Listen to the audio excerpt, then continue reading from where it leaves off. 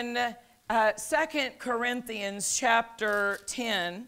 I want to uh, discuss further the importance of building a stronghold of the Word. In our previous sessions, we've talked about uh, God being our stronghold. We saw from Nahum 1 7 that the Lord is good. He is a stronghold in the day of trouble. We found that God is not changing, He is not uh, unstable. He, there is no variableness in him or shadow of turning. But God is established and His Word is established, and He has provided us His Word so that we can bring His Word into our life and establish our lives upon His Word, causing us to have the stability that God designed for us. And so as we look here at Second Corinthians chapter 10, I want to see other strongholds. And we're going to make that uh, contrast between the strongholds that the enemy would try to establish in our life and how he attempts to establish those strongholds, and then recognize that those same methods are how God designed for us to establish a stronghold of health a stronghold of prosperity, a stronghold of the peace of God, a stronghold of our righteousness. All of those godly strongholds are necessary and they are God's plan for our lives.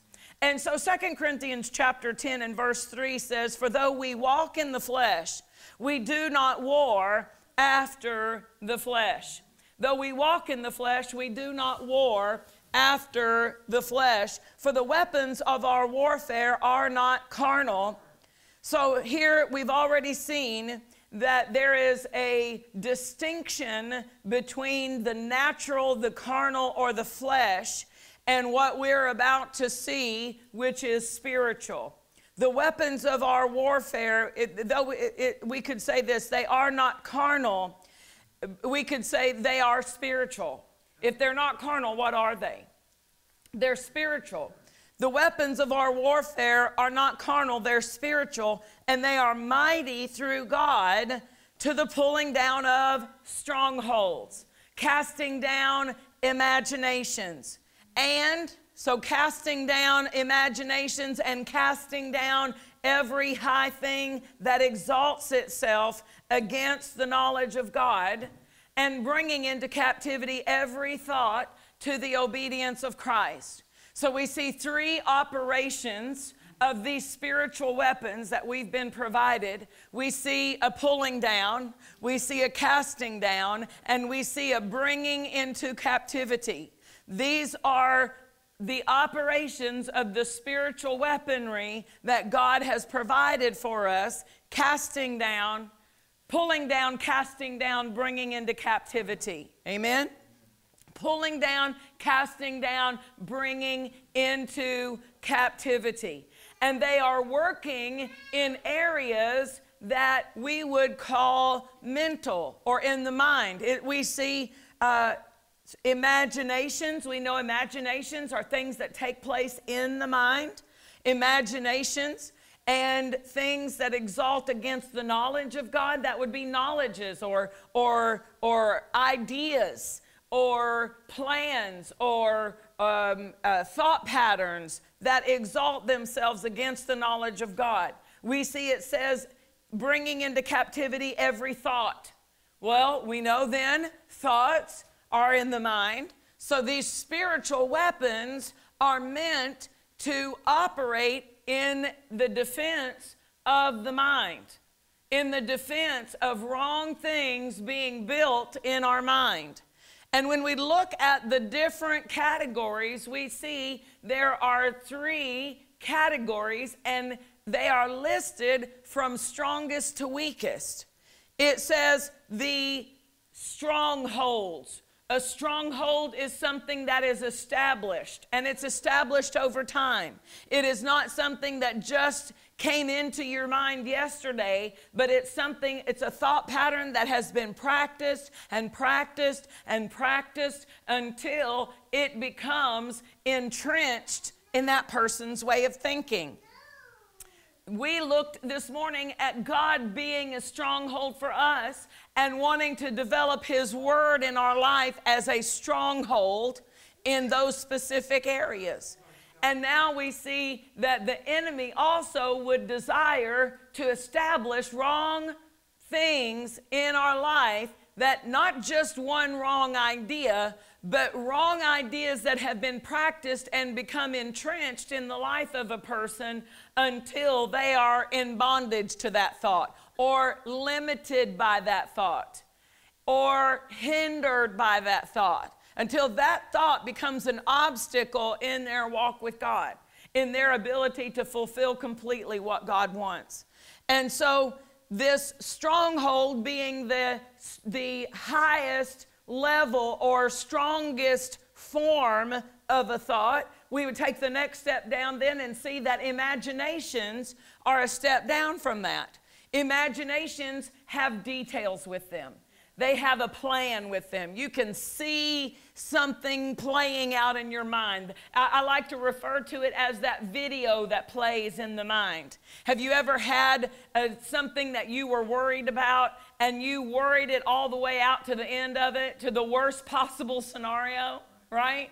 And so that's an imagination. It came complete with details and video for you to play in your mind, right?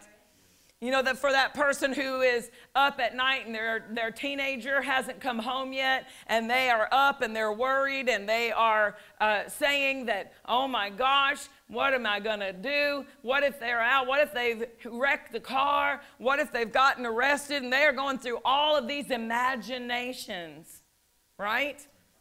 And so, imaginations being that second level, not as weak as a thought, but not as strong as that stronghold that has been built. And then it brings us then to the thought, bringing into captivity every thought to the obedience of Christ. So if I capture that thought at thought level, it does not become an imagination.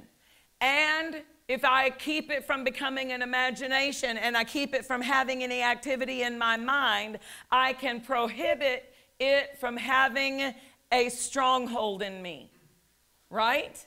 We see that these are, are uh, levels and they are parts of the process. So if the enemy wants to get somebody off track, he can't get in their spirit, he can't get into their heart because there's no duplex in your heart. You are wall to wall, filled with the life of God, right? So, what does he have to do? He has to get into that thinking. He has to get into the mind and he has to do it with a thought. And so, the word devil is not a name. The word devil's not a name. If you investigate the, that word, it is a description of how he operates. Diabolos. It is a two part word, and, and one of the parts of that word, it means to continue to hit against something, to hit, to hit, to hit, to hit, to constantly just barrage and hit that mind and hit that mind with that wrong thought. And the second part of the word means to pierce. So the enemy, how he operates, is to come against the mind consistently, balos, to hit like you're throwing a ball against the, that uh, wall. He, he's throwing and throwing and throwing and throwing, hitting that, you with that thought for the intention of piercing to get the thought into the mind. So, devil is not his name, it's his method of operation. Amen. Now, we're looking at this just to recognize how the process works because the devil did not create the process. The devil did not come up with the idea of getting the thought in the mind and then establishing that person on that thought. That was God. God did that from the beginning. He said from the beginning, hearken diligently to the voice of the Lord your God to observe and to do all these. Why, he said, if you'll listen to my word, if you'll continue in my word, if you'll abide in my word, if you'll if you will uh, uh, this book of the law he said in joshua 1 8 this book of the law shall not depart out of your mouth. This book of the law shall not depart out of your mouth but you shall meditate therein. So he wants it in your mouth and if he gets it in your mouth where is it? It's in your mind if I'm talking it, I have to think about what I'm saying. So, the way for me to govern the mind is to have God's word in my mouth. So, God originated this. He even says it in Psalm chapter 1. Psalm chapter 1, verses 1 through 3. He said, uh, I'll just go ahead and read the whole text. Turn over there with me. Blessed is the man that walks not in the counsel of the ungodly nor stands in the way of sinners, nor sits in the seat of the scornful. How do I, this, these are walking, standing, sitting. These are activities. These are actions for my life. How do I refrain from these actions? How do I keep myself from wrong actions? Our delight is in the law of the Lord. And the word law means teaching instrument. We would say today in the Word of God. My delight is in the teachings, the word of the Lord. And in His word, I meditate day and night. Again, this word meditate has a definition that includes the saying. It means to mutter. To mutter. So you're saying it to yourself, but you're vocalizing it nonetheless. You are employing your mouth to govern your thoughts. You are using your mouth, your, your voice activated spiritual authorization to ca- cause your mind to think about what God said. Amen? So he said that we delight in the word and we meditate in the word day and night. And because of that, we are like a tree planted by the rivers of water that brings forth fruit in our season, our leaf shall not wither, and whatever we do shall prosper. Hallelujah. Whatever we do shall prosper. How can it be that whatever we do prospers? Because we are feeding on the correct thing. And we, that means we've got the right strongholds in our mind. We've got godly strongholds. We've got godly uh, established principles and established truths. And if you know the truth, you won't be deceived. If you know the truth, if you know the truth, you'll recognize counterfeit. When they take bank tellers and prepare them to be able to discern the difference between a real $100 bill and a counterfeit, they don't bring a lot of counterfeits and make them study the counterfeits. They bring the real and they want them to feel it. They want them to see it. They want them to be so, so familiar with, so intimate with the real $100 bill. I, we need to be intimate with some $100 bills, right? We need to be, I know what, I know what a $100 bill feels like, right here in my pocket. But they become so, so aware of the real that if a, if a counterfeit comes into their hand, their hand knows it. Their hand can say, That doesn't feel like the real $100 bill. Let me look closer. And then they begin to look at it and they say, That doesn't look like a real $100 bill. And then they're looking for the details of what should be in the real. And God wants us so strongly established in truth that deceit is, is automatically recognized. When the enemy tries to bring something counterfeit, when he tries to bring a wind of doctrine that is not an established truth, when he tries to bring uh, uh, something and, and call it the moving of the Spirit, that we're recognized wait a minute, that doesn't sound like the real. That doesn't feel like the real. That doesn't have the same quality that the truth has. Amen? So, this establishing on the Word of God, this meditating in the Word or receiving God's Word at thought level and imagining it till the point that it becomes a stronghold in our life, that was God's original plan, and the enemy has just used it in the negative direction. And how has he done that? By presenting his thoughts instead of God's thoughts.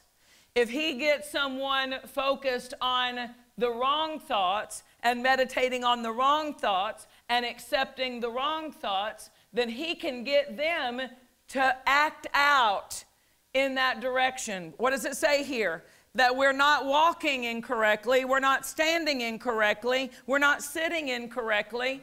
And why aren't we having those incorrect actions? It's because we've been feeding on the right thing, which leads us in the right actions and behaviors for our life. Amen?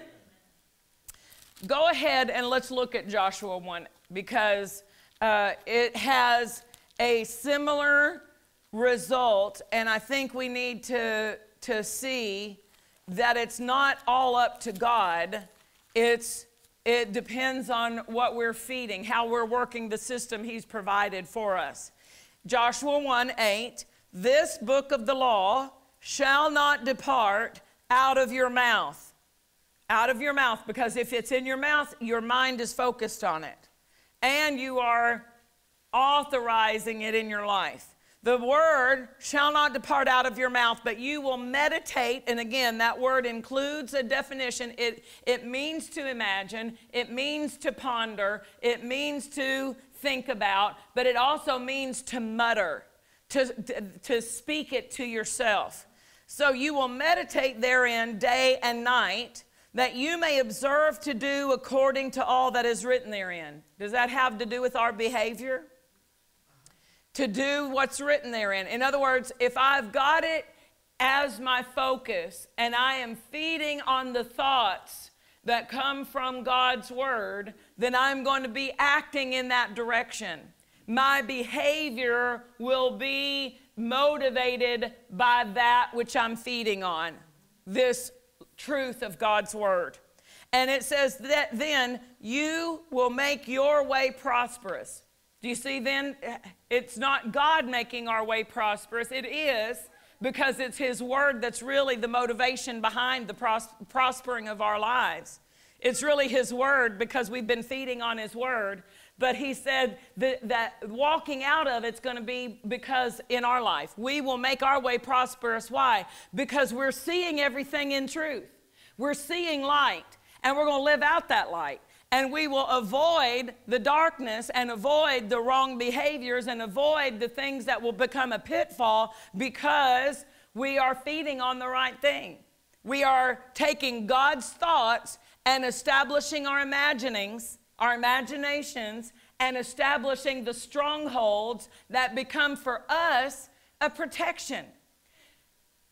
The strongholds of the enemy are places of, of slavery. They are places of bondage. Addiction is a stronghold. Phobias are strongholds. Fear of rejection, fear of heights, fear of whatever. Those are, those are thoughts that have been practiced and imagined until they gain an entrenchment. They hold a place, they hold territory in your life. Amen? And so those are the enemy's strongholds that he desires, but the weapons of our warfare can pull them all down. And that means that we don't have to be victim to any addiction. We don't have to be victim to any phobias. We don't have to be victim to uh, prejudice or racism, or we don't have to be uh, victim to any of those wrong thoughts. We can pull all those wrong strongholds down in our life, and we can take God's word and establish His truth as a refuge for us. It won't be a bondage to us. For us, it'll be a refuge, and God will be the one who holds territory in our life. God's flag will be flying from your castle. Amen? And He is the Prince of Peace. And so He said, You will make your way prosperous, and you will have good success. Hallelujah. Why? Because you've meditated and you have fed on and you have focused on the thoughts of God and allowed the thoughts of God to be the established focus of your life. Proverbs 4 identifies the same concept. Proverbs chapter 4 is one that I am continually uh, taken back to. It's, it's, it's an, uh, such a standard for our lives that it cannot be overlooked and, and us experience the blessing and the favor and the victory that God has. We, we can't overlook Proverbs 4 and really walk out the fullness of God's plan. He says in verse 20, My son, attend to my words. Attend. How do I attend to the Word of God? He wants you to know specifically what kind of attention to give to His Word. He said, Incline your ear unto my sayings. Well, if you do that, what's going to happen? Faith will come. Faith comes by hearing. He said, Incline thine ear unto my sayings. And then he says, in addition to that, let them not depart from your eyes. So, for you to hear it, you can hear it preached like you're hearing it preached today, or you can speak it to yourself, which is just as vital for our life. Amen? And he said that's going to cause the hearing of it, and don't let it depart from your eyes. It needs to be something that we're looking at. It needs to be something that we are putting in and not just reading, but, but focusing. Focusing and seeing it and allowing it because that's how we're going to get it in the heart. He said, Keep them in the midst of your heart. Keep them in the midst of your heart. So the objective is to get the word in the heart to, to allow the ear gate and the eye gate. That's how the Dakes, uh, uh, God's plan for man. He always in, included the ear gate and the eye gate. That's the gate to the heart. So for us to get it into the heart, which is where it will produce faith and the spiritual strength and nutrition that we need, we've got to give our attention, inclining our ear, not letting it depart from our eyes, so that we have an abundance of the word in the heart. And when we have the word in the heart, we have a treasure. He referred to our treasure in Matthew chapter 12. He said, Out of the good treasure of the heart, you can bring out good things. Amen. If you don't have it treasured in the heart, how are you going to bring out anything good? If, if a person is treasuring up the problem and they're storing up the problem and they've got the problem in their eyes and they've got the problem in their ears and they're talking the problem and they're thinking the problem and they're meditating the problem, then all they're going to be able to withdraw from the heart is problem. But he said that we can take his word his supernatural supply of creative power. And we can put his word in our heart. And when we have his word in our heart, we've got a good treasure to access. We can bring out health if we need health because we've stored some health. We've been putting 1 Peter 2.24 in the heart. We have a treasure of 1 Peter 2.24. We have a treasure of Matthew 8.17. We have a treasure of Isaiah uh, in our heart so that we can pull out the treasure of God's word. Hallelujah. Hallelujah. That's the desire of God that we have a supply, a stronghold, a treasure for us to be able to access in time of need. And so, whether it be peace or healing or, or financial stability, whatever the need may be, there's a seed for you to put in the heart so that you can withdraw. Amen? Amen? And out of the good treasure, hallelujah, we can bring forth good things. Out of the stronghold of the word, we can bring forth a supply. Hallelujah. Isn't God good? Isn't God good? And so that doesn't leave you victim to wait on somebody else to do it. God says, just get in the word and store it up. Just store it up. Just store it up. Hallelujah. That's the supply and that's the plan. Glory to God. Hello, everyone. We are so excited about what God's doing in your life and in the ministry of Faith Builders. Michelle and I wanted to take a moment today and talk to you about partnership. And I know there's a lot of talk about partnering with ministries, and uh, that word partnership is used a lot, but it's a spiritual principle. Yes. And I want you to look in the book of Philippians, chapter 4. Uh, very often we go right to verse 19, but my God shall supply all of your need according to his riches in glory. But it starts back in verse 15. And Paul says, Now you Philippians know that in the beginning of the gospel, no church communicated with me as concerning giving and receiving, but you only. The word communicated in the Greek means to give or to share in all good things.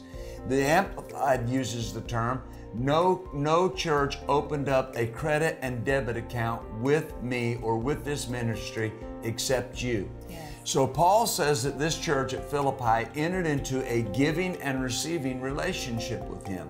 As they gave into his ministry, they received.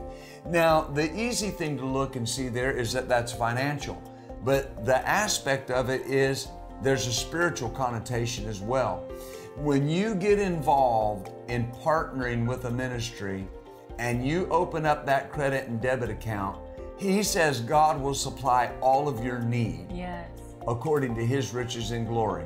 His riches of anointing, his riches of glory, his riches of spiritual victory, and his riches of physical finances. I want to encourage you today, if you've not yet partnered with us, I want to encourage you to do so because the blessing of the Lord will begin to function in your life in unprecedented man- ways because you enter into this account with us as we spread the gospel. God bless you. Thank you for your partnership. We have many ways that you can connect with us through your generous giving or prayers. Not only will your seed into this ministry help spread the gospel, it will produce a harvest in your own life.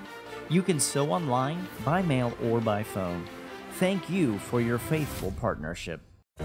This is Pastor Philip Steele, and I want to invite you out to Little Rock's new Word of Faith Church, Faith Builders Church, right here in Little Rock, Arkansas. Our address is 10500 Markham. We have services Sunday morning at 10 a.m., Sunday nights at 6 p.m., and Wednesday evenings at 7 p.m. Our hour of power.